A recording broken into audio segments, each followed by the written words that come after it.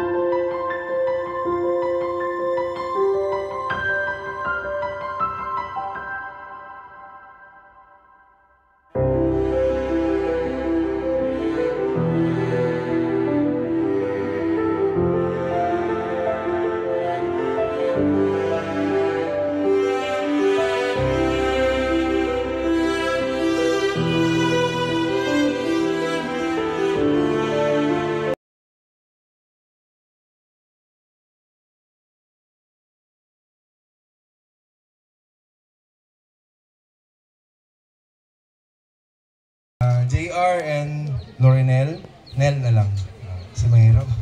Ah, sa amin, kasi kami, bagong kasal lang din kami ng misis ko. Two years ago lang din. Ah, 2022, one year ago. So, hindi kami, hindi, hindi kami, hindi siguro kami yung the best. No, hindi ako the best na, hindi kami yung the best na mag, magbibigay ng advice kasi bata pa lang din kaming ah, magkasama at bagong kasal lang din. Pero sa amin, it works.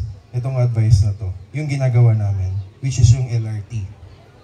LRT, love, respect, and trust. Lagyan na natin ng dagdagan na rin natin ng communication. So, when love comes with respect and with trust and communication, your wedding will be be longer hindi natin malala- masasabi. Pero yung yung formula namin ng misis ko, it works sa amin. Alam ko lahat ng ating kasal is uh, unique and kakaiba. Pero yung sa amin, yung LRT with the C, it, it works sa amin. It, kung gusto nyong i-apply sa inyong wedding life, and by the way, congratulations and welcome to the club. Alam ko meron na rin kayong baby. Mahirap, mahirap magkaroon ng pamilya. Pero napakasarap, lalo na pag merong anak. Yun na lang din yung pinaghihugutan namin naming mag-asawa dahil ah, napaka-busy namin. Basta pag uwi po namin, nag-aalaga, ah, tinitignan yung mga bata. Yung ngiti na lang nila, yung pumapawi ng pagod namin. So yung yung sa amin, sa mga ninong, kung masusunod nyo yung sinabi ko kaninang LRT with the C, it will work din sa inyo sana. Andito lang kami. Pero this in experience, hindi totoo yung ah, hindi kayo matutulog kung nag-aaway kayo. Matulog ka. Lin-lin. Matulog ka, JR. Pagising ninyo, saka ninyo ayusin. Kasi kung ah, kasagsagan ng hindi natin maiiwasan, mayroon at mayroong conflict. Dahil magkaiba yung personalidad natin, hindi natin maiiwasan na minsan sasabihin natin yung roses na yon kulay pula. Huwag mong ipagpilitan na puti at yellow yung roses na yan kung sa tingin ni Linlin, pula yan. Tandaan mo yan, JR. Pag pula yan kay Linlin, pula. Pero pag panahon naman ni JR na nakikita niya na ibang kulay yung roses na sa tingin mo ay pula, pabayaan Okay, so nandoon yung kay